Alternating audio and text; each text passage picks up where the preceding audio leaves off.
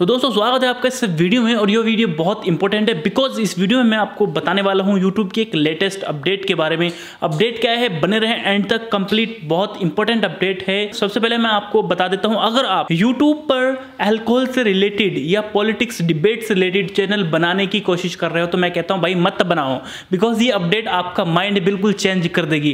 क्योंकि ये अल्कोहल और जो पॉलिटिक्स जो डिबेट्स होती हैं मतलब एक दूसरे के अगेंस्ट जो हम डिबेट करते हैं मतलब जैसे चौराहे पे या कहीं पर भी हम रिकॉर्ड करके यूट्यूब पर डाल देते हैं तो इस तरह के चैनल मोनिटाइज तो हो जाएँगे मेरे भाई। लेकिन मैं आपको बता देता हूँ कि उन पर एड्स नहीं आएँगे। एड्स नहीं आएँगे तो आपकी अर्निंग नहीं होगी।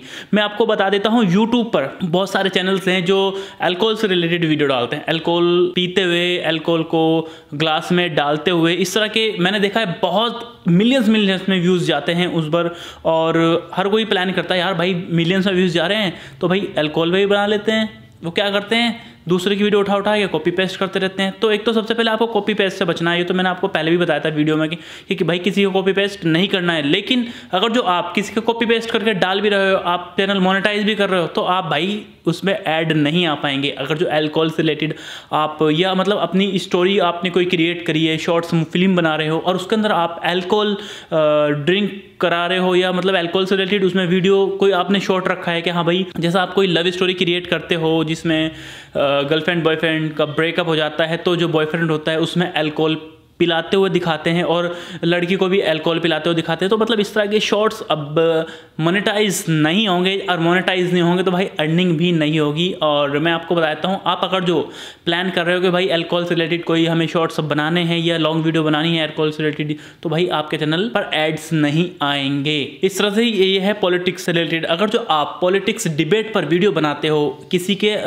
उसके अगेंस्ट बोल करके आप किसी भी पार्टी को उसमें टारगेट करते हो, अगर आप पॉलिटिक्स डिबेट करते हो कहीं भी किसी भी चौराहे पे, किसी भी नुक्कड़ पे तो मैं आपको बता दूँ भाई, आपके वीडियो पर एड्स नहीं आएँगे। एड्स नहीं देगा यूट्यूब अब यूट्यूब ने खुद अपनी गाइडलाइंस में, अपने इस अपडेट्स में बिल्कुल खुल्लम खुल्ला बता दिया कि भाई, मैं कोई एड्स नहीं देने वाला हूँ। अगर आप इस तरह के वीडियोज़ को प्रमोट करोगे तो।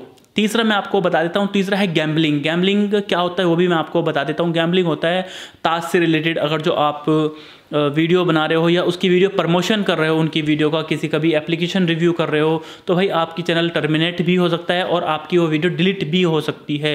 तो इस तरह की अगर जो आपके पास स्पॉन्सरशिप आ रही हैं तो भाई मत लेना और अगर जो आ रही, आ भी रही हैं तो within one week company से बोल देना कि भाई मैं वन वीक के अंदर इसको डिलीट कर दूँगा। तो भाई इस तरह की एप्लीकेशन आपको मतलब औकात से ज़्यादा पैसे दे देती हैं और ज़ाहिर सी बात है, मैंने आपको इस टॉपिक से रिलेटेड पहले भी वीडियो बताया था मैंने आपको। तो मतलब अगर आप गैम्बलिंग से रिलेटेड वीडियो बना रहे हो तो भाई मत बनाना, क्योंकि ये चैनल क्योंकि इन वीडियोस पर एड्स नहीं आएँगे। और सबसे इंपॉर्टेंट बात मैं आपको बता देता हूँ, वो क्या है, वो भी जान लो। तो ये स्क्रीनशॉट देखो सबसे पहले, आप इसमें क्या देख रहे हो? एक प्रमोशन चल रहा है, एक गैम्बलिंग वाली एप्लीकेशन से रिलेटेड तो मतलब यूट्यूब खुद तो प्रमोट कर रहा है गैम्बलिंग को, और हमें मतलब अगर जो हम उस वक्त प्रमोशन कर रहे हैं तो भाई हमें रोक रहा है। साडा कुट्टा कुट्टा, हमारा कुट्टा टॉमी, इसका मतलब तो ये सीधा साधा